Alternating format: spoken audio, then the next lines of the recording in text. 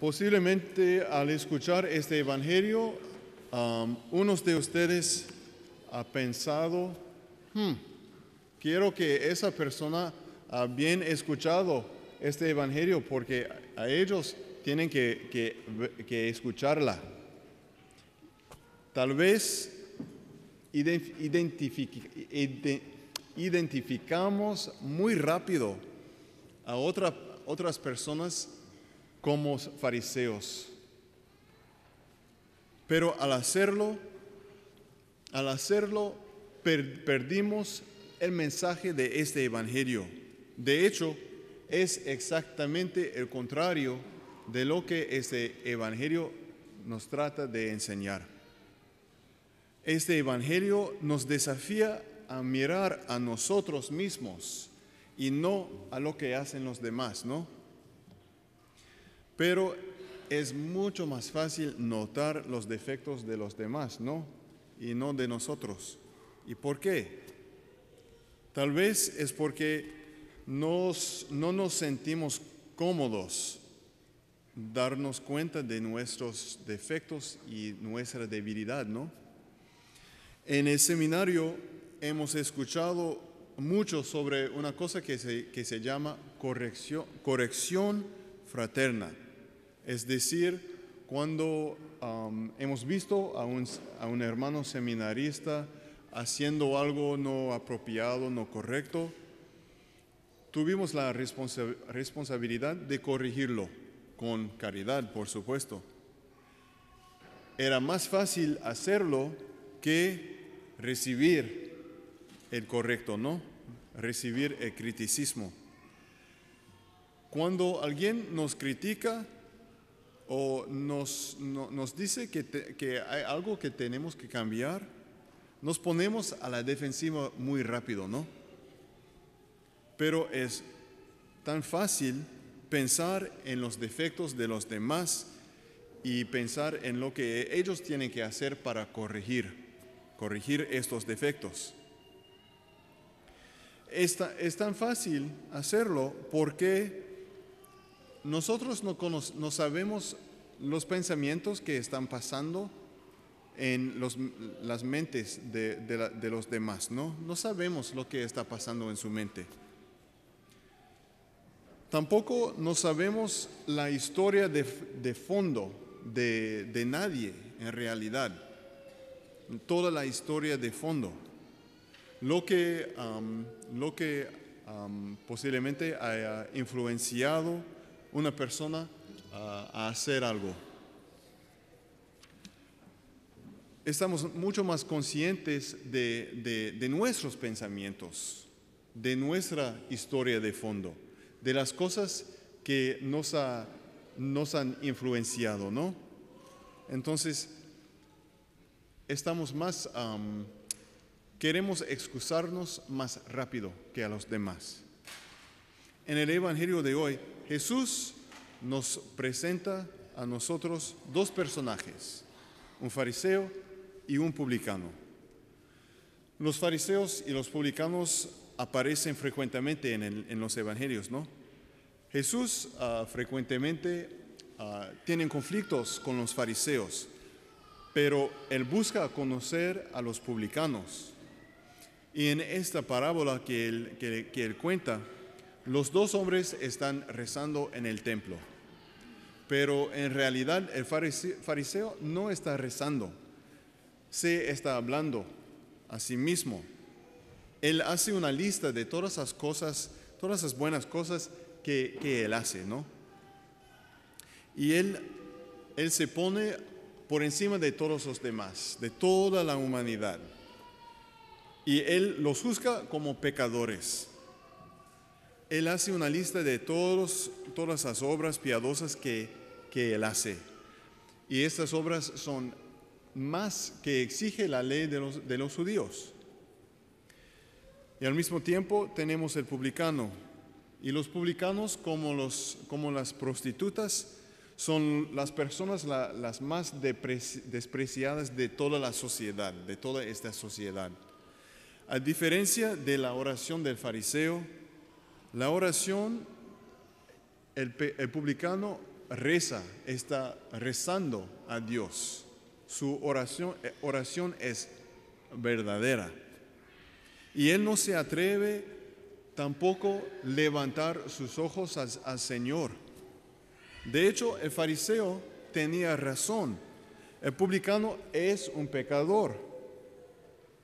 Pero el publicano se da cuenta de eso. Él sabe que es pecador. Y no como el fariseo, el, publicano no juzga a nadie. En realidad, los dos hombres son pecadores. Los dos necesitan la misericordia de Dios. Uno ha sido deshonesto y avaricioso, pero el otro es culpable de un pecado más fundamental, más grave, el pecado de la soberbia. Solo uno se dio cuenta de su culpabilidad, de su necesidad de la misericordia de Dios. Entonces, solo uno, el publicano, fue justificado ante Dios, ante el Señor. En otras palabras, solo el publicano y no el fariseo ha sido perdonado. Una de las cosas que, hace ah, la soberbia tan ah, grave y que hace daño a nuestra relación con Dios es que la soberbia nos impide ver quiénes somos y cuál es nuestra relación con Dios. Nos impide ver las cosas que tenemos que cambiar nos impide ver el hecho de que nosotros también necesitamos la misericordia de Dios. Nos impide abrir, abrirnos el corazón a recibir su misericordia. El Evangelio de hoy es un ejemplo de lo que se llama la reversa divina. En que se enaltece será humillado y el que se humilla será enaltecido. El que está humilde, que puede reconocer su culpabilidad y la necesidad por la misericordia de Dios, será perdonado. Pero el que se niega a darse cuenta de eso, se separe del perdón del Señor. Y al hablar, hablando del, perdón, este mes es el mes respetar la vida cuando rezamos en una manera particular para más respeto por la vida del ser humano, a, a todas las etapas, desde la concepción hasta la muerte natural. Y también ah, roguemos por el fin del aborto. Y no es para juzgar a nadie, no podemos juzgar a las personas, pero tenemos la responsabilidad de señalar lo que de señalar la injusticia y el mal. Y el aborto es estas dos cosas.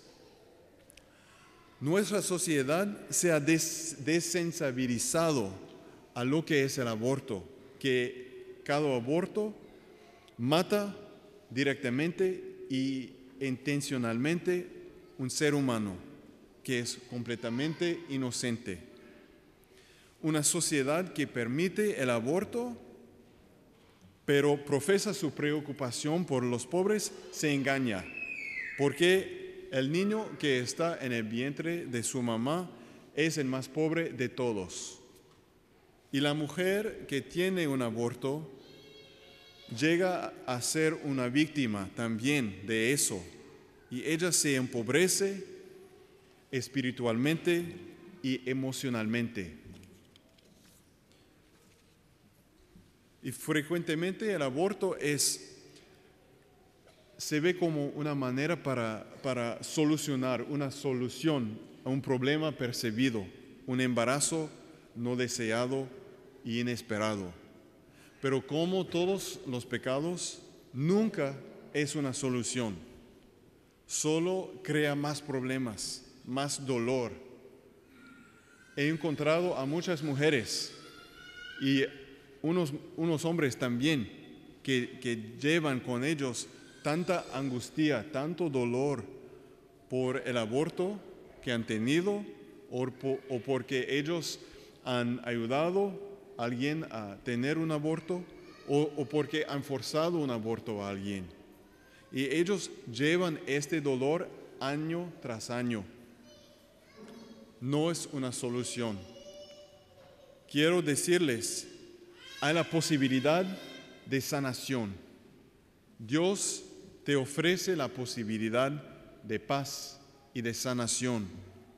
Deje de justificarlo o racionalizarlo en su mente.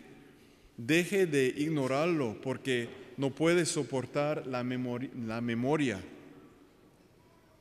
Hay que reconocer que como el publicano en el Evangelio de hoy, tú también necesitas la misericordia de Dios.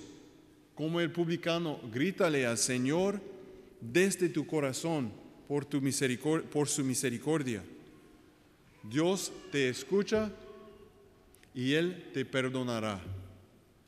Él te promete eso. Venga a confesarse para recibir el perdón de Dios, para que Él pueda empezar a sanarte. La parábola en el Evangelio de hoy nos enseña la importancia de la oración. Por Lucas, por San Lucas, la oración es la fe en acción.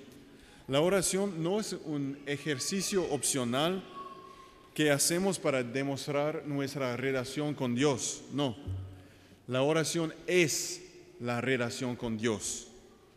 E, y la manera en que rezamos revela la condición de nuestra relación con Dios. Entonces, si no rezamos, no tenemos una relación con Dios. Entonces, el Evangelio nos enseña dos cosas. Primero, que tenemos que rezar y que tenemos, cada uno de nosotros, tenemos que reconocer nuestra necesidad por la misericordia de Dios. No importa quiénes somos, no importa lo que hemos hecho, todos nosotros tenemos que ser como el publicano en el Evangelio. Tenemos que rezar cada día y tenemos que pedir al Señor su perdón.